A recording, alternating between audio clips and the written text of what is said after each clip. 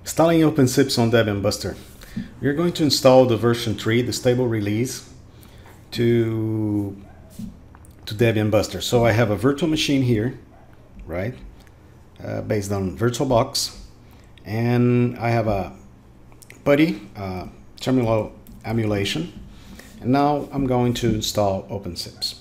Very simple, so I have to choose, I want to install on the Debian Buster, okay OpenSIPs 3.0 stable. So these are the commands I have to to use to to install OpenSIPs okay so let's start.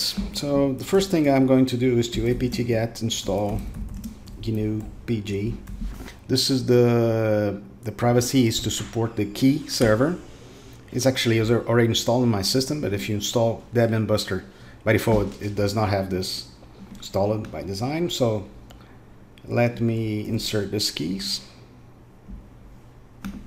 apt key. Executing. Okay so install the key to download the file. This is a security measure to avoid downloading things that you don't want. And then we add the the source to the apt source list done now it's just a matter of doing apt-get install OpenSIPs. Very, very simple. Uh, it's already actually installed. And now we can go to etc, sorry, etc OpenSIPs. And you're going to see that we have the opensips.cfg uh, file already installed on the system.